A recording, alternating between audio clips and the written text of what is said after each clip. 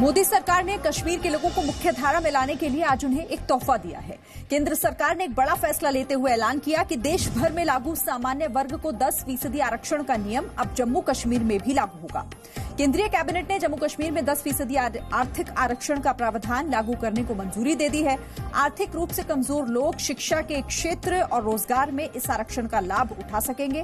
केंद्रीय मंत्री प्रकाश जावड़ेकर ने कहा कि पूरे देश में पिछले साल शुरू हुई सामाजिक न्याय की पहल के तहत ये फैसला लिया गया है। जो देश में सामाजिक न्याय की जो बड़ी पहल की थी, आर्थिक आधार पर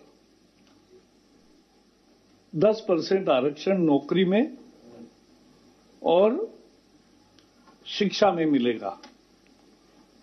यही अब जम्मू कश्मीर को भी लागू करने का निर्णय किया है। और जम्मू कश्मीर के लिए और एक ये बहुत महत्वपूर्ण फैसला है कि अब आर्थिक गरीबों को भी ये मिलेगा आरक्षण और आठ लाख तक की जिनकी आय है, उन सबको वो दस फ़ीसदी आरक्षण मिलेगा